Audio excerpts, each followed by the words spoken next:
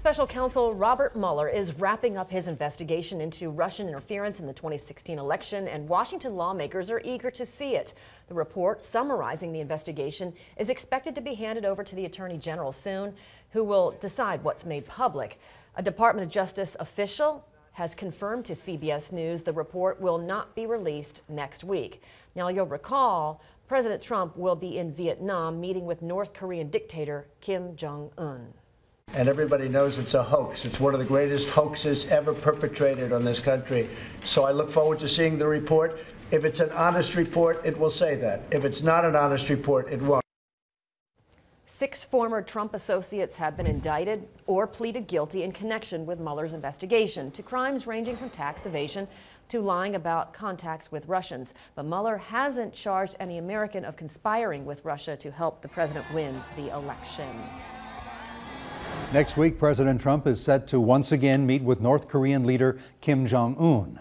CBS 2's national correspondent Kristine Frazao explores what, if anything, has changed since the last time they met. An unprecedented first meeting.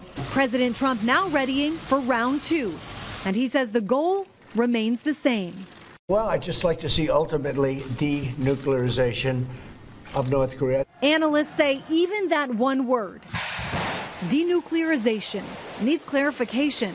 The UN definition put in writing as part of any agreement. Which is their abandonment of their nuclear and missile arsenals, as opposed to the North Korean definition, which is global arms control. They'll go to zero when the U.S. goes to zero. Bruce Klingner worked as chief of the CIA's Korea branch and says additional demands should include North Korea's acceptance of international standards of verification and detailed descriptions of all timelines and requirements of all partners involved.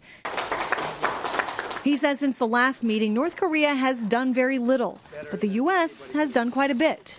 Since Singapore, the Allies uh, and the United States have canceled at least nine military exercises, and we've imposed constraints on additional exercises. That's risking degrading Allied de deterrence and defense capabilities.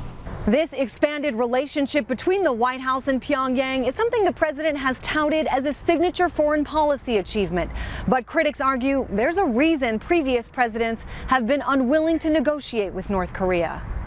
Laura Brown suggests these meetings could be a useless and dangerous endeavor. What's very disconcerting is how much we have seen President Trump embrace people who are dictators or authoritarians and how rare it has been for him to embrace our allies.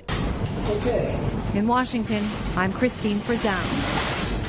So let's go to our national question of the day. Has the U.S. made progress in reducing the nuclear threat posed by North Korea? Head to idahonews.com to vote. You hover over the news tab, top left corner.